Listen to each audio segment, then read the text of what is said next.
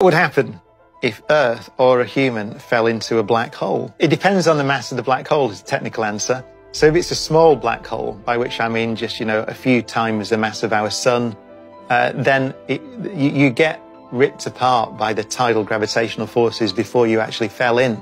So as you pro- approach the event horizon of the black hole, it becomes very nasty. But for the very big black holes, so like the big, the one we have a photograph of, we've got two photographs actually. One of the one of the one in the center of the Milky Way, and one in the center of a galaxy called M87, which is a very big one. It's something like six billion times the mass of the sun. So supermassive black hole in M87. It's 55 million light years away, that one. And if you fell towards that one, then as far as we know, you would fall across the horizon into the interior of the black hole uh, and you'd be unaffected. You wouldn't notice as you fell across the horizon.